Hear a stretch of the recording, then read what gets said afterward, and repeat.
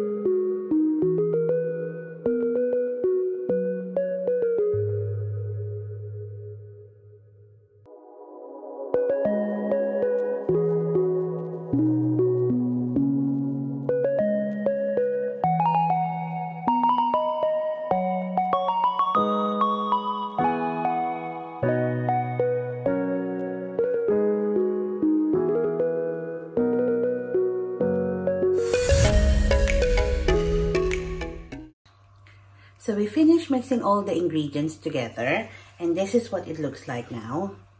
Go. You got lots of uh, walnuts there. If you want to um, have the walnuts in house, you can do so. Um, that will be less on your net carbs. Let's try and taste this one. I know it's just a mixture, but I want to taste it first.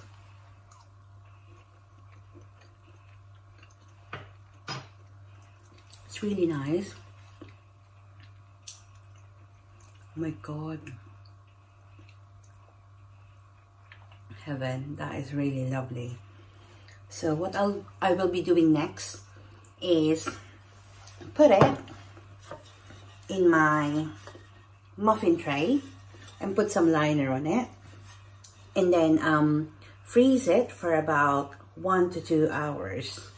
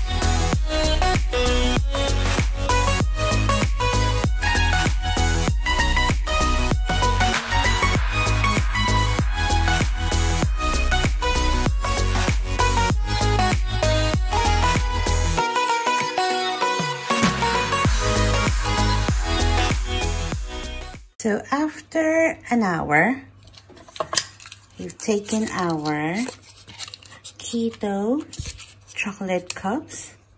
So now it's hardened now, so we'll try and taste it. So let's try our keto chocolate cups. Let's choose one. Can you see that? It's so nice. The walnut actually complements the homemade chocolate chips that we did um, previously. And I really, really think the dark chocolate made it richer. So I personally love it. You can put this in your fridge and then you can just take it when you fancy having a little bit of a treat.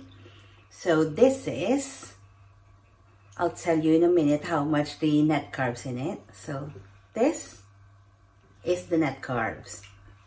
So it's it's not it's not so bad as a treat. So there you go guys. Very easy keto chocolate cups.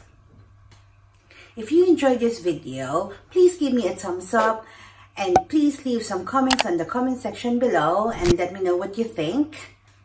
And if you haven't subscribed yet to my channel, please hit the subscribe button and hit the notification bell so you can be updated with my future low-carb recipes. Thanks for watching guys. I hope to see you soon. Take care. Bye-bye.